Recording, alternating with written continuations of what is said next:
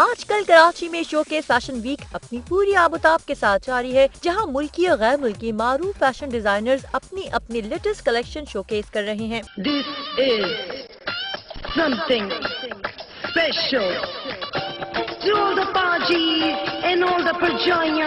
Show के fashion week के दूसरे दिन मैदान मारा मारूफ डिज़ाइनर जैनब साजिद ने मॉडल्स ने रैंप पर समा बाँध दिया।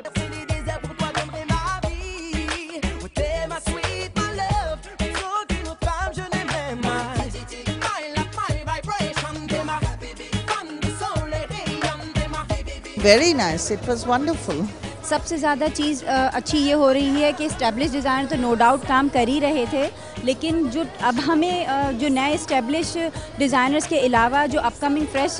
जो कलेक्शन है और जो फ्रेश डिज़ाइनर्स आ रहे हैं उनको बहुत अच्छा जो है ना स्केल मिल रहा है लेकिन जितने इंटरनेशनल डिज़ाइनर्स और बायर्स आए हैं उससे ऑटोमेटिकली आपका इमेज अच्छा जा रहा है हम तो बारह हज़ार साल से फैशनेबल हैं और हम इंशाल्लाह अगले भी बारह हज़ार साल तक फैशनेबल ही रहेंगे. There are a lot of talent, lot of potential. I mean, a show like this definitely can bring Pakistan to a different level. Fashion जो है वो डेफिनेटली एक ऐसी चीज़ है which will always you know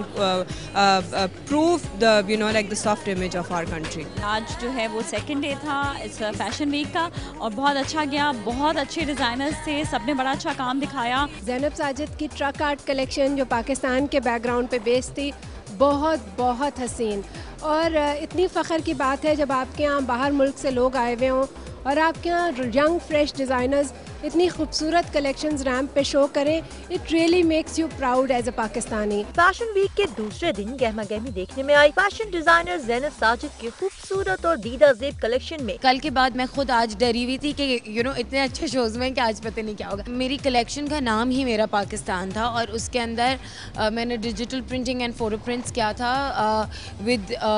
collage I made a collage on the prints of what you say truck art जिसमें हमारी ये साइकिलें होती हैं, जिन पे टेसल्स होते हैं देन बसेज रक्षा ट्रकों के पीछे का जो आर्ट होता है it's all of those plus Lollywood के कुछ एलिमेंट्स थे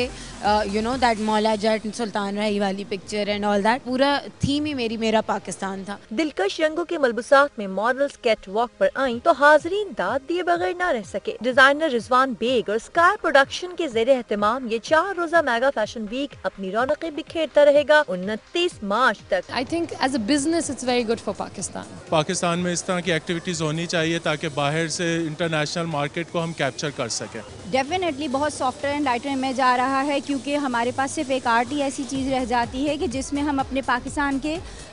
जो है इमेज को एक एक बहुत अच्छे लाइटर इम्पैक्ट के साथ हम, जो है ना, पेश कर सकें। देखें इस तरह के जो भी इवेंट्स होते हैं, मैं समझता हूँ वो पाकिस्तान की मीशत के लिए पॉजिटिव हैं और पाकिस्तान में जो टेक्सटाइल इंडस्ट्री है, हमारी बैकबोन है, हमारे लिए इंपॉर्टेंट इंडस्ट्री है और उसको प्रमोट करना हमारे लिए बहुत इंपॉर्टेंट है क्योंकि